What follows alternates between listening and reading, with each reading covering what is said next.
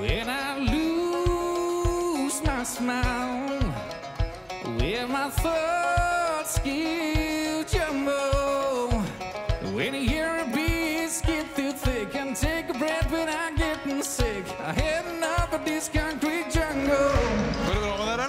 Drown myself in drought. I pick up. She jumps in kiss and a hey. We exit old Idaho highway. Sometimes you gotta go beyond the payment. We gotta go deep, the way on out, across a few creeks, a couple of checks. You gotta get lost, way on down, the creeks and and it's getting close now.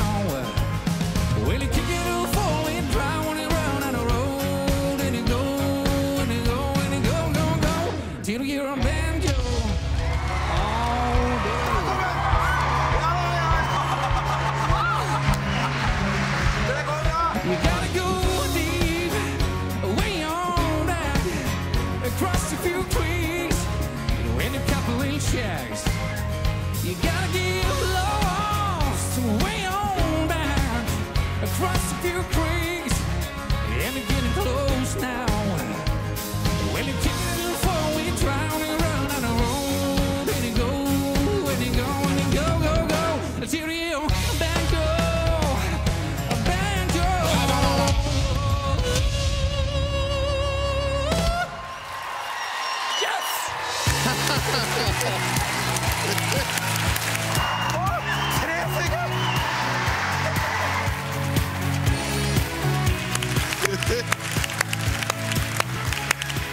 Ok, ok. Reaksjon, altså.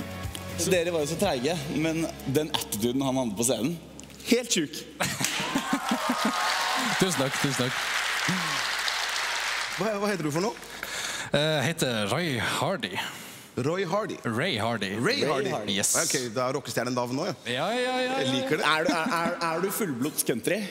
Ja, Det det. Men det er fint, det, fordi EDM og country har funka ganske bra tidligere. det. ja, ja vest. Jeg kjenner jo folk som har vokst opp i bedehusmiljø, som er fullblods bedehussangere. Som bryter ut av det og oppdager andre ting, selvfølgelig.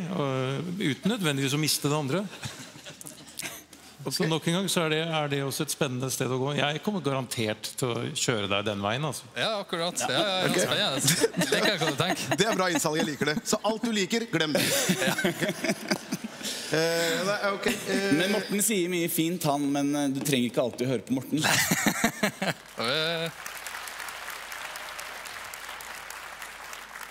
Nå har du jo tre eminente karer, så da er jo det opp til deg hvem av de her tre som du har lyst til å jobbe med. Ja,